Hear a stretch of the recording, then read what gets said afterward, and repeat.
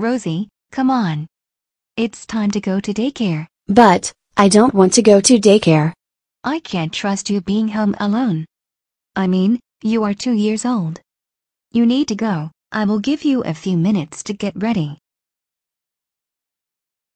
If she is forcing me to go to daycare, I will bring my smartphone. Ah ha ha ha ha ha, I am going to hide this in my pocket. Then get it out when I go to daycare, that's so much more fun than, playing with toys.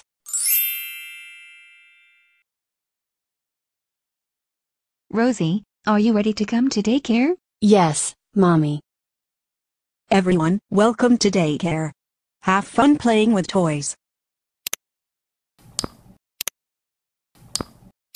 I swear, smartphones have to be the best toys.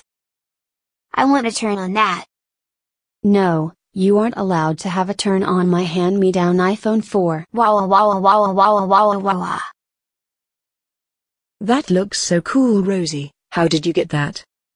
Oh, my mom was going to sell this for $20 but, she decided to give it to me instead. Regular toys suck, I want a smartphone too.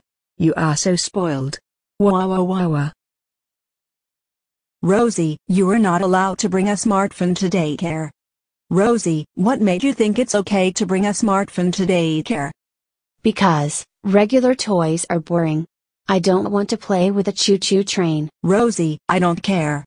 I'm sending you home. Oh, Rosie, how dare you bring your smartphone to daycare? You are grounded from your phone for one month. I just don't get it. I want to be able to drop you off at daycare so I can go to the mall for a few hours. You always seem to get kicked out. I can't take this.